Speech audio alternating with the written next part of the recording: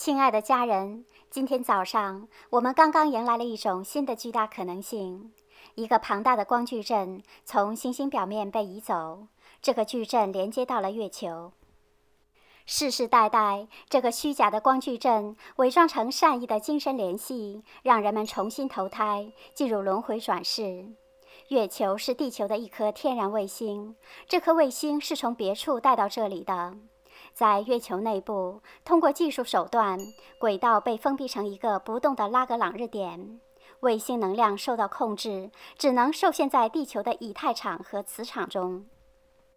轨道被固定后，会产生一个人造漩涡，把与源头产生共振的星体体内的一切都吸进这个巨型重生机器里。因此，地球上只要有人离世，他们的灵魂将无法摆脱能量漩涡的引力。然后会被拉进星光控制的较低层次，在这里预设好的宗教观点会决定把这些灵魂放在何种模拟中。灵魂休息一段时间后，导师会告诉他们，他们在地球上还有很多功课要学，很多事情要做，以及很多任务要完成。于是，灵魂盲目地进入另一个转世。唯一的问题是在他们转世之前，灵魂受到了极其强大的以太和核电磁爆炸的冲击，这让他们忘记了所学的一切。今天情况发生了重大转变，虚假光矩阵被移走后，涡流停止了运作。世界各地每时每刻都有人死去，但他们并没有被拖下这条管道，而是走进了星光层最高、最纯净的领域，在那里接受真正的治愈。他们已经准备返回地球了。从现在开始，新出生的孩子会让世界换新颜。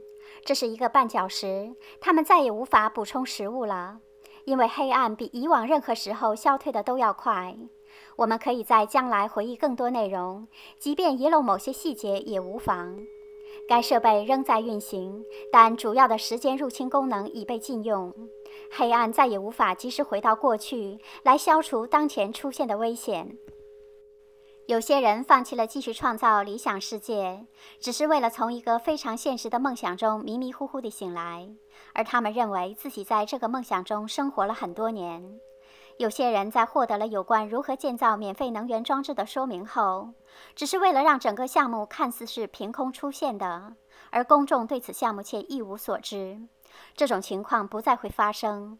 全球各地的通灵者，要么与他们的导师连接后一无所获，要么发现他们在被劫之前最初联系的实体。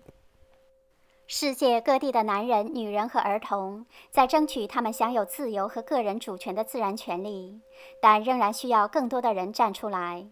这些进步真是令人难以置信。很高兴看到这些消息，但在地表上醒来的人还不够多。你为了完成这项任务来到这里，你盲目、无知、虚弱地来到这里，只为回忆光明，重新发现自己内心的光，并将它传播到世界其他地方。改变从你做起。你最后一次安静地坐着，并与自己内在连结是什么时候？你最后一次伸展身体，告诉他你多么爱他和尊重他，因为他用语言和感觉带着你度过了这个现实。是什么时候？你最后一次放下手机，关掉电脑，坐着发呆，让思绪完全放空是什么时候？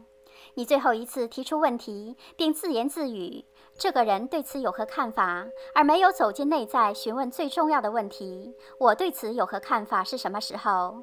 你最后一次相信自己是什么时候？改变正在发生，改变从你开始。寻找光，把光点亮，并传播到世界其他地方。在你照亮自己时，让你的身体充满纯金色的爱之波。想想人类是什么，不要去想它看起来是什么。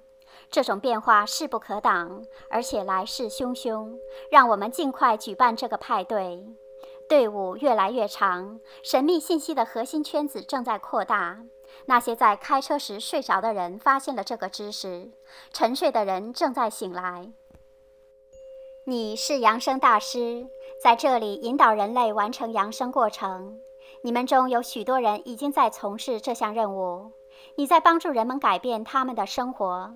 即便这些改变微乎其微，你将成为人们学习的榜样。向你学习如何掌握新的习惯，做一个言出必行的人。我们非常爱你我们与你同在我们是你的光之家人。